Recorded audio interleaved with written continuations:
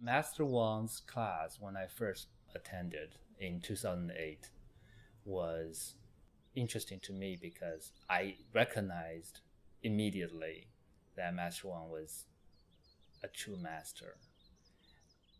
He learned from everyone he could find and was able to integrate all the things he was able to find and really elevate the level of uh, the masters.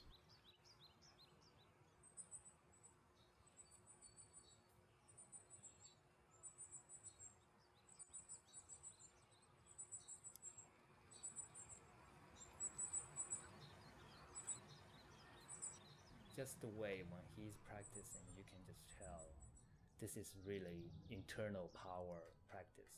It is not just to the form. Everything he does has so much internal power, prowess in it.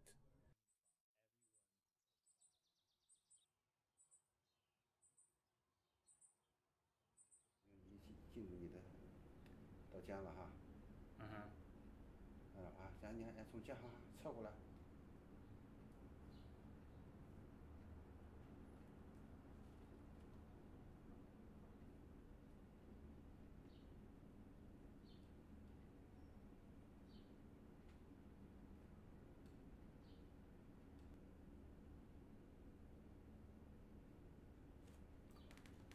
最后安抚一下他，安抚一下他，就是就是不好的浊气，嗯，也不要攻击他，也是化解他，用爱心化解他，在你做工程中用爱心化解他，他是活的是有生命的，啊，然后走出来。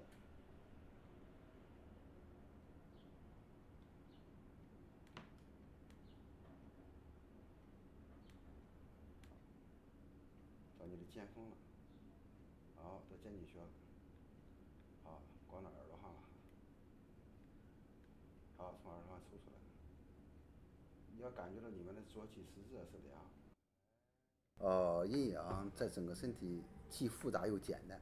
简单说吧，就说以这个小人儿来来讲，呃，这个任脉从少腹开始到会阴，一直到劳二丹田、弥足丹田，呃，到承浆，然后到水沟，呃，到水沟这块儿也是人中，这是这是任脉主血的，它为地，为母亲。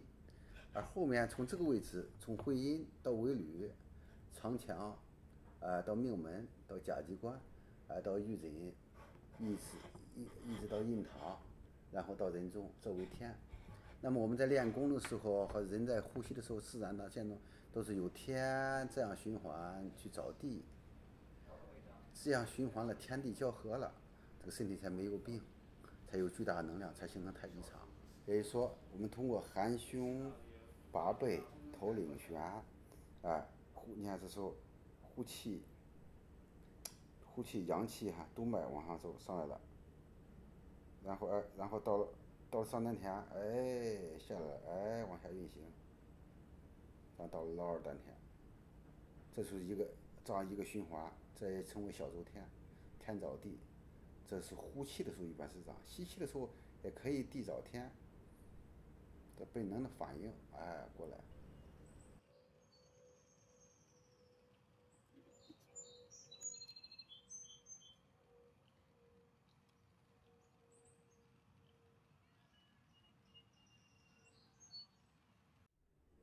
诚真心的、诚心的想学习这门学问。他认为这个学习、这个这个文化不单是以武术、升华的文化，他把武学文化内涵他认识的很透，因为他对中国的传统老老子老传统老子的道家文化、儒家文化、孙子兵法，他研究都很透。他是哈佛的高材生嘛，人非常好。他当时就提出来，就是想认真的。So I call Master Wang Shi Fu. It consists of two characters. First character, Shi, means teacher. The second character, Fu, means father. Every time when you call your teacher Shi Fu, um, you are basically calling him your second father or your father. Uh, it's more than just a teacher. This is what Shi Fu would call me. In Chinese, it's Tu Di Tu, the first character means mm, disciple, apprentice. D means uh, the younger brother, which, come to think about it, it's a little bit higher uh, level than the son, which would be the opposite from father. So I think it's an interesting word in Chinese.